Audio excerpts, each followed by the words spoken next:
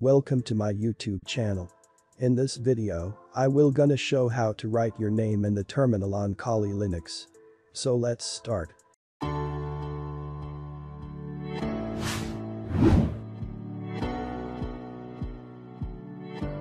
So first of all we have to update our Kali Linux using this command. Now we have to install the Figlet. If you are using the latest version of Kali Linux, Figlet is pre-installed. But if you are using an older version then you have to install the Figlet. And this is the command. Now using this command you can write your name in the terminal. Like this. You can also write your name center of the terminal using this command. Now if you want to write your name permanently.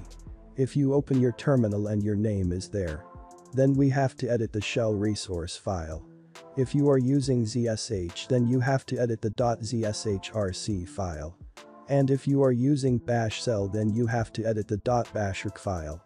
In this tutorial I am using Z shell then I am editing the .zshrc file. Open this file using your favorite text editor.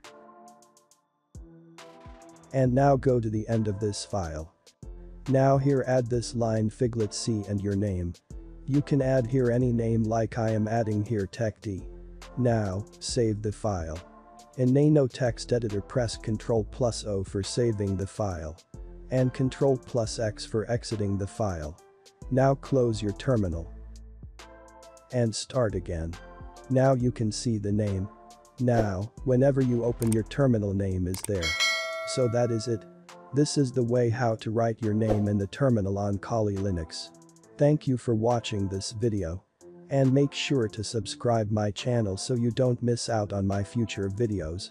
Thank you very much, see you in next video.